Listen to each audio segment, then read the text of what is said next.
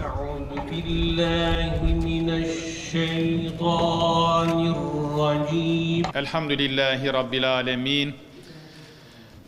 Ve salatu ve selamu ala eşrafil enbiyayı vel murselin seyyidina Muhammedin ve ala alihi ve ashabihi ecma'in. Sevgili Peygamberimiz aleyhissalatu vesselam Efendimiz Yesrib'e hicret ettiğinde orayı Medine-i Münevvere yani aydınlanmış şehir yapmak için ilk icraatı bir mescit inşa etmek, bir cami inşa etmek olmuş idi. Biz ona Mescid-i Nebevi diyoruz.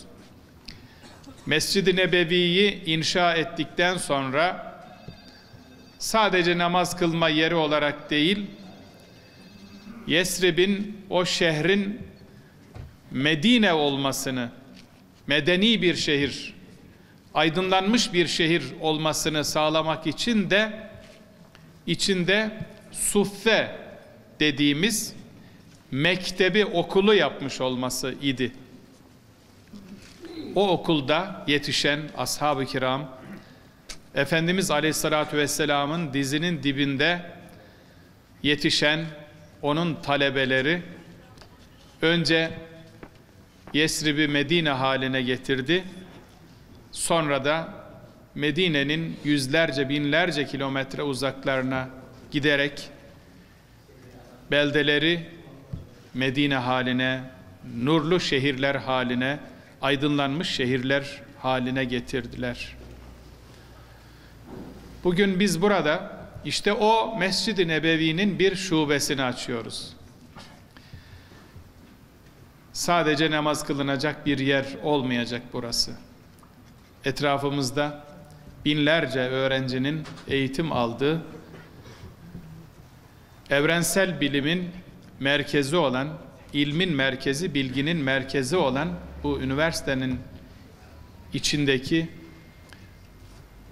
gençlerin camide namazlarını kıldıktan sonra caminin mutlaka bir kütüphanesi kitaplığı da olacaktır. Kitaplığından, kütüphanesinden bir kitap alarak caminin duvarına yaslanıp okuyabileceği, camimizin imamının cami derslerine iştirak ederek temel dini bilgilerini, ulumu İslamiye ile ilgili bilgilerini tazeleyebileceği, geliştirebileceği bir mübarek mekan olacak inşallah. Camilerimiz kampüslerin süsüdür. Üniversitelerimizin süsüdür.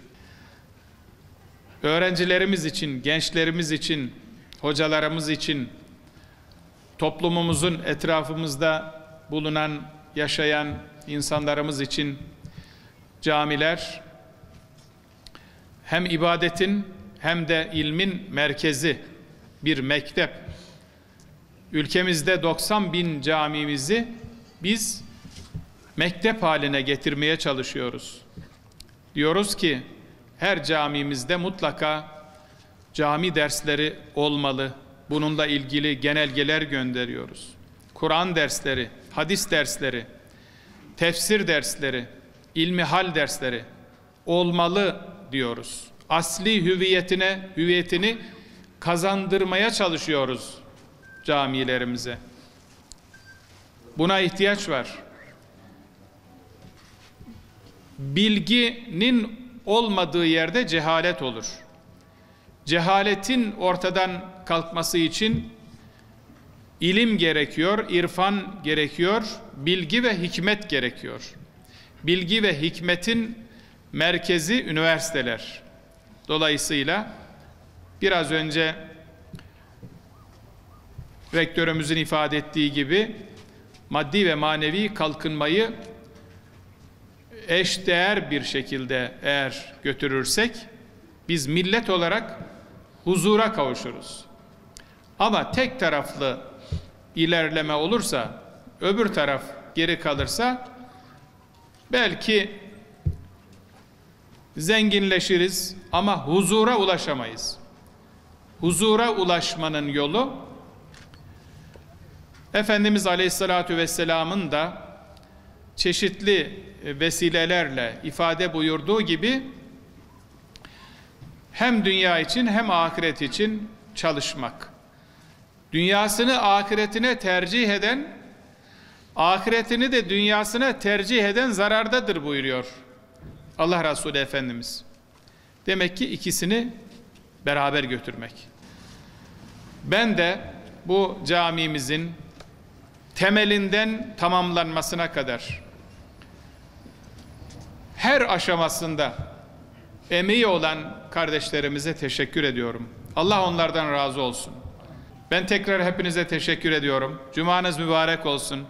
Camimiz üniversitemiz için, şehrimiz için, milletimiz için hayırlı olsun. Allah hepinizden razı olsun.